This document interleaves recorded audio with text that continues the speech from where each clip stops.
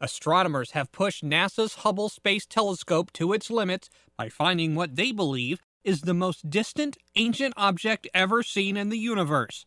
Its light traveled 13.2 billion years to reach Hubble, roughly 150 million years longer than the previous record holder. The age of the universe is 13.7 billion years.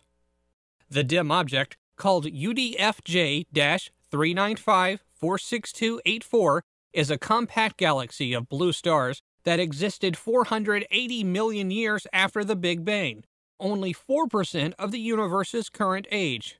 It's tiny. Over 100 such mini galaxies would be needed to make up our Milky Way.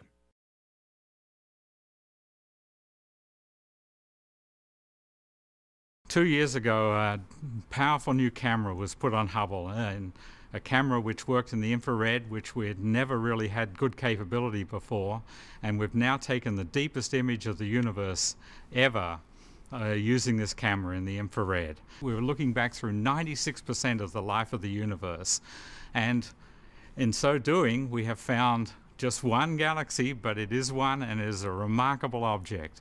The universe was only 500 million years old at that time, versus it now being 13,700 million years old. The image that uh, we've taken with Hubble, this deepest image ever of the universe, is actually on a tiny region of the sky. It's only about the tenth the size of the full moon, tenth the, the diameter of the full moon. So it really is tiny. And in that, there are thousands and thousands of galaxies, some like our own Milky Way, but most a lot smaller than our own Milky Way. As we look deep into these data, we are going back in time through 96% of the life of the universe to when the universe was just 4% of its current age.